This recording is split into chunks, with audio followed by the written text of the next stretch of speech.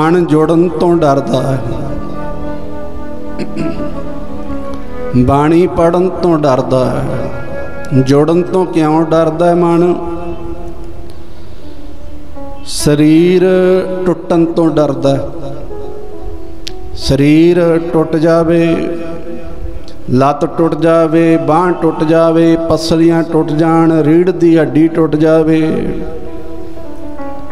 ਗਲ ਦਾ ਧੌਣ ਦਾ ਮਣਕਾ ਟੁੱਟ ਜਾਵੇ, ਸਰੀਰ ਮਰ ਜਾਂਦਾ, ਖਤਮ ਹੋ ਜਾਂਦਾ। ਜਦੋਂ ਸਰੀਰ ਟੁੱਟਦਾ, ਸਰੀਰ ਖਤਮ ਹੋ ਜਾਂਦਾ ਹੈ ਟੁੱਟ ਕੇ ਖਤਮ ਹੁੰਦਾ ਸਰੀਰ। ਜਿਵੇਂ ਜਿਵੇਂ ਟੁੱਟਦਾ ਜਾਂਦਾ, ਤਿਵੇਂ ਤਿਵੇਂ ਖਤਮ ਹੁੰਦਾ ਜਾਂਦਾ। ਹੈ ਮਨ ਜੁੜਨਾ ਨਹੀਂ ਚਾਹੁੰਦਾ, ਕਿਉਂਕਿ ਮਨ ਜਿਵੇਂ ਜਿਵੇਂ ਜੁੜੇਗਾ, ਓਵੇਂ ਓਵੇਂ ਸਾਧ ਸੰਗਤ ਮਨ ਖਤਮ ਹੁੰਦਾ ਜਾਵੇਗਾ।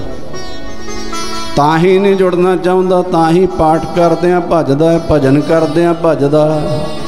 ਬਾਣੀ ਪੜਦੇ ਆ ਭਜਦਾ ਚਿੱਤ ਨਹੀਂ ਲਾਉਂਦਾ ਆਪਣਾ। ਮਨ ਮਰਦਾ ਹੈ ਜਦੋਂ ਇਹ ਜੁੜਦਾ ਹੈ।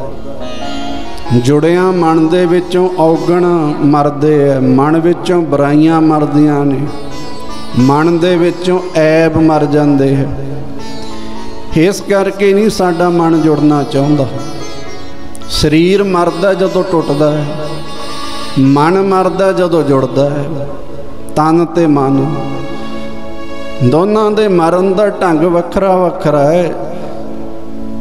ਸਰੀਰ ਟੁੱਟ ਕੇ ਮਰਦਾ ਹੈ, ਮਨ ਜੁੜ ਕੇ ਮਰਦਾ ਇਸ ਕਰਕੇ ਮਨ ਜਿਹੜਾ ਸਾਡਾ ਹੈ ਇਹ ਜੁੜਨਾ ਨਹੀਂ ਚਾਹੁੰਦਾ। ਭਗਤ ਕਬੀਰ ਜੀ ਕਹਿੰਦੇ, ਐਸਾ ਕੋਈ ਏਕ ਆਦ ਜੋ ਜੀਵਤ ਮਰਤਕ ਹੋਏ, ਜਿਹੜਾ ਮਨ ਕਰਕੇ ਮਰਿਆ ਹੋਵੇ ਭਾਵ। ਬਰਾਈਆਂ ਤੇ ਔਗਣਾਂ ਦੇ ਵੱਲੋਂ ਮਰਿਆ ਹੋਵੇ। ਇਹੋ ਜਿਹਾ ਕਹਿੰਦੇ ਕੋਈ ਇੱਕ ਅੱਧਾ ਹੁੰਦਾ ਹੈ, ਸੈਂਕੜੇ ਹਜ਼ਾਰਾਂ ਦੇ ਵਿੱਚੋਂ।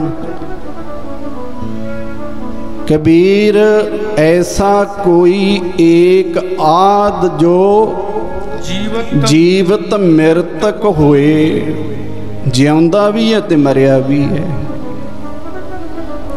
ਨਿਰਭਉ ਹੋ ਕੇ ਗੁਣ ਰਵੈ ਜਤ ਜਤ ਦੇਖਾ ਤਤ ਸੋਏ। ਫਿਰ ਹੁਣ ਮੁਰਦੇ ਨੂੰ ਪਰਵਾਹ ਨਹੀਂ ਹੁੰਦੀ ਜਿਹੜਾ ਮੁਰਦਾ ਹੁੰਦਾ ਹੈ ਉਹਨੂੰ ਡਰ ਨਹੀਂ ਹੁੰਦਾ ਕਿਸੇ ਦਾ। ਮਰੇ ਨੂੰ ਡਰ ਨਹੀਂ ਹੁੰਦਾ ਕਿਸੇ ਦਾ ਵੀ।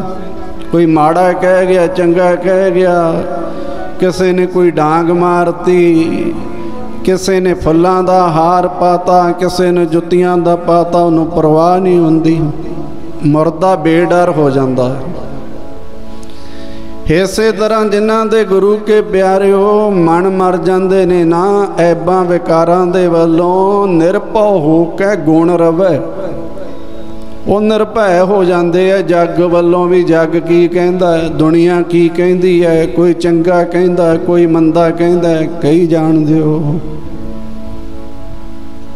ਨਿਰਭਉ ਹੋ ਕੇ ਗੁਣ ਰਵੈ ਜਤ ਦੇਖਾਂ ਤਤ ਸੋਏ।